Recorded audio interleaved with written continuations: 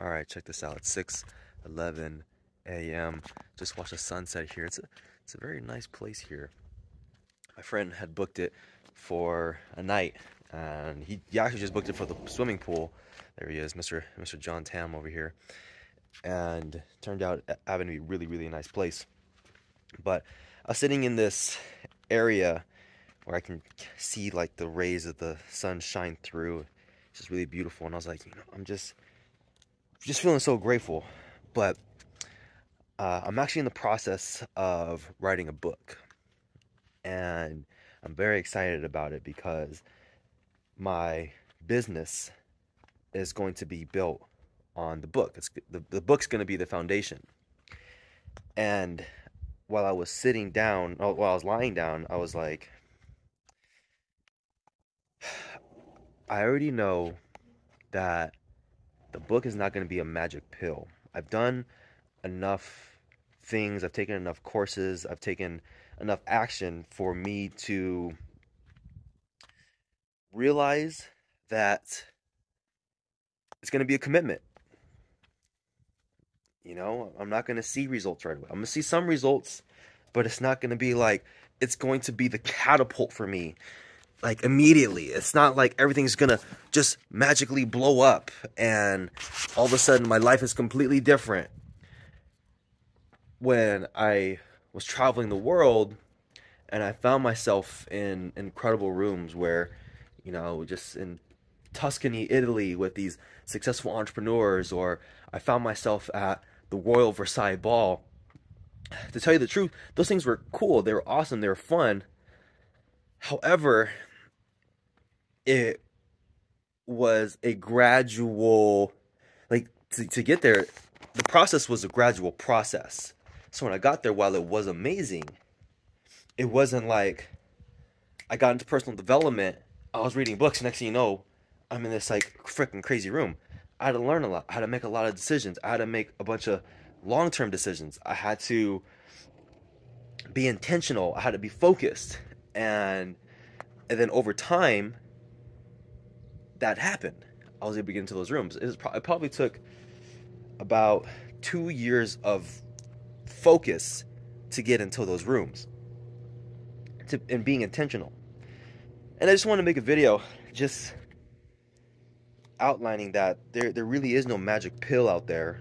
You can find people who can give you guidance, but what is going to be the biggest needle mover is focus focus over a long period of time. I was uh, I was reflecting I don't know like a week or so ago and I was thinking about basketball. And basketball really really changed my life. When I was in middle school, I was hanging out with the wrong crowd. Um, I think 3 out of the 5 people that hung out with like dropped out of middle school, uh, dropped out of high school. And like there's like one person that I actually looked up to and I wanted to be liked by who uh, last I heard, is addicted to meth, homeless in East LA. And I, i never forget the summer from eighth grade to ninth grade. I wanted to be on the basketball team so bad that I would wake up in the morning. Just, you see, like the sunrise here, just the sun was rising. It was like, it, was, it wasn't rising, but it was early sun, right? 7 a.m., 8 a.m. in the summer. Wake up, alarm clock pick up my basketball, dribble down to the park, go out there and just practicing, practicing, practicing, practicing, practicing, practicing, practicing. The summer, just practicing, practicing, practicing. And I made the basketball team. And uh, I played three and a half years on the basketball team. And on the basketball team, I was around just more positive people. I, I didn't think about it at the time.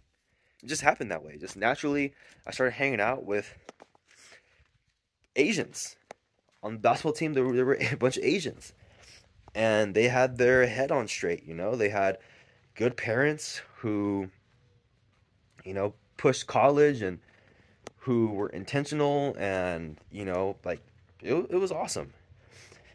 But my life changed because of that focus, and it didn't just happen overnight. I mean, yeah, I, I put a lot of time in that summer for basketball but before that, I put myself on basketball teams at the park.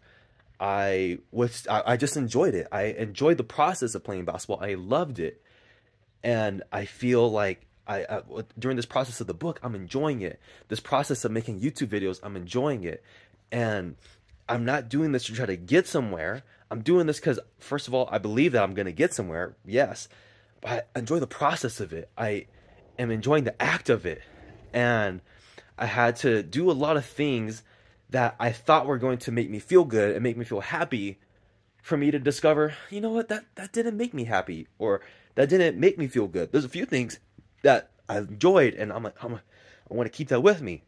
But I had to try a lot of different things for me to quote unquote taste the rainbow. For me to be like, oh, okay. I, I had to shed the onion. I, I never forget when I, when I think of, uh, that analogy, shedding the onion. there was a mentor of mine who there were so many layers to him. Like you always learn something new about him.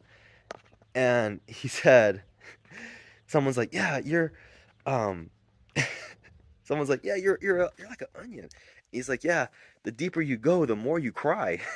and I, I thought this shit was so funny. So Anyway, you gotta peel you gotta peel the layers in your own life.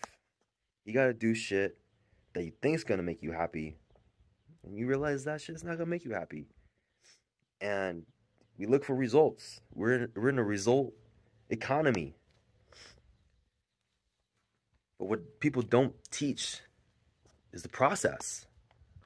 I remember when I hopped on a call with Joe Polish, he, he said, You gotta, he said, I can make an introduction for you right now that can shave 10 years off your life.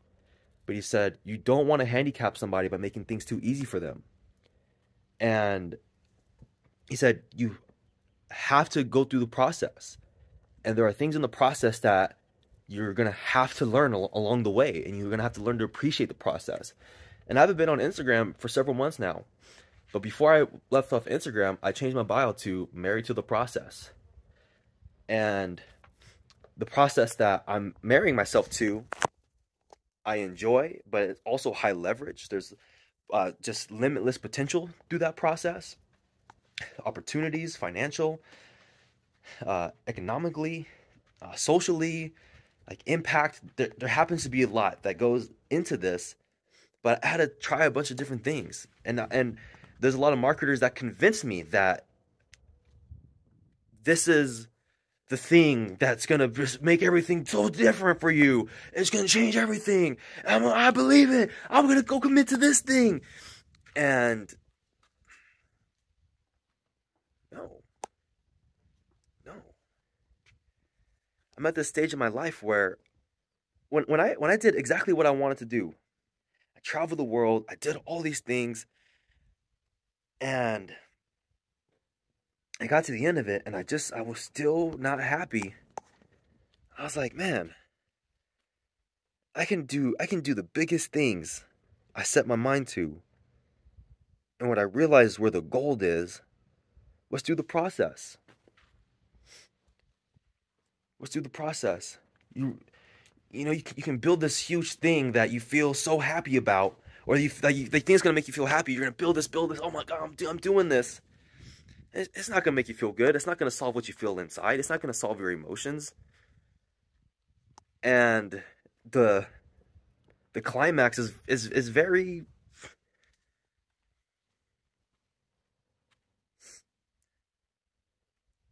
What's the word I'm looking for? Like it doesn't live up to the hype. It doesn't live up to your expectations. I, I don't I can't come up with a word with it right now. I, I imagine you being like, it's this. this is the word. It's very anticlimactic. That there we go. It's very anticlimactic. Very anticlimactic. It's very anticlimactic. And at the end of it, you're just like, man, I, I wish I just did something that actually just made me feel good. And that was something that was exciting for me and something that I enjoyed doing in the moment. And I didn't shave years of my life doing something I don't like to do something to, to get somewhere that I don't really feel happy where I'm at.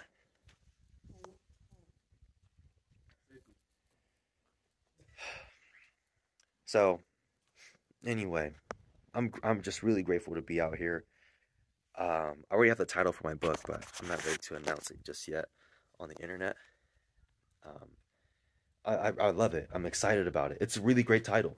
It's a really great title. It encapsulates how I want to build my business, and uh,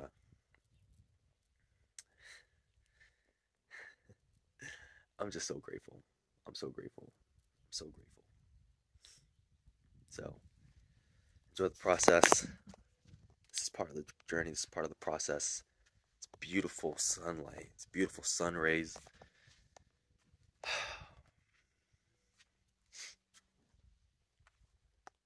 Shed the layers of the onion. So to recap, you gotta first of all realize that there's nothing that's gonna there's no such thing as like overnight success there's no magic pill. This one thing is not just going to change everything for you. It could be very helpful and it can shortcut the time in the process. But if you don't have any skin in the game going into that, first and foremost, and you're starting something new, expect it to take some time. Expect it to take some time. Choose something that is high leverage. There's a potential for a lot of gains. Um, that's why I feel like I chose like to be confident in my communication because I feel the leaders of the world are those who can communicate properly. it's funny. I think about the leaders of the world. You think of like Elon Musk, and you think about like Mark Zuckerberg. Like you, you think about these like AI uh, technology bots. Um, but you know, Elon Musk is still an effective communicator. But Anyway, choosing something that you enjoy the process of. Do you enjoy this process? Because at the end of it, that's all you're going to have. When, even though in basketball, when I played those three and a half years in high school, it was unbelievably difficult. Like practices were not easy. They weren't. They weren't fun. Just running and sometimes waking up at freaking five in the morning to practice and it sucked. But at the end of the day, like we were doing something that we enjoyed, which was basketball and going to play basketball together. And um, it's a, it's a time that I forever hold in my heart that I'm just so grateful for. I'm so grateful for. And uh, I do like the process of YouTube. I like the process of the book, and I'm gonna enjoy the process of marketing the book and hearing testimonials and uh, people who raise their hand from the book that's created who want more help and who want to continue the journey with me and who are more serious um, and not just that but you know pick something that hey just think to yourself I'm, i want to commit to this for the next three years. I want to connect. I want to commit to this for the next five years. For me, ideally, like I want to, I want to commit to this for the next 10 years plus, right? YouTube and, and, and my book and, and the foundation of the business. And so I'm just, I'm laying it out and, it, and it's fun and exciting. It's exciting for me. And I feel where I was before with my business, it was, okay, I got to do this thing. Uh, we're going to make this work. And, and things were working. Like we would get some success. We would see people come in, we'll get clients, but we were just in a, excuse me, we were just in a position where we were, I guess, forced to value the short term because we were traveling. You know, you, it's, hard to think about long term 10 year plans when you need money immediately. It's hard to think about building a long term business or thinking or having something that or building something that's going to feed you for the rest of your life when short term, you gotta make something happen right now. I gotta remind myself, I'm 27 years old. I got time. You know what? I just have to build something once. I gotta build the feeding machine once. It'll feed me for the rest of my life. And it's gonna take some time. In the meantime, just kicking back, enjoying each day as it comes, as best as I can. I'm human. Uh, you know, it's not like I'm perfect. I'm not. But these are these are my findings from accomplishing the biggest goals I've set myself to. High leverage, process oriented, enjoyment of the journey, and find some damn people who you enjoy doing it with.